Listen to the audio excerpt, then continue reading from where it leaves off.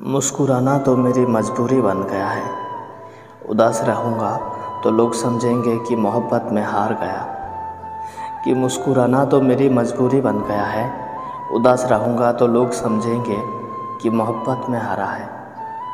आखिर कैसे हम उन्हें भुला दें? मौत इंसानों को आती है, यादों को नहीं। प्यार नहीं रुलाता।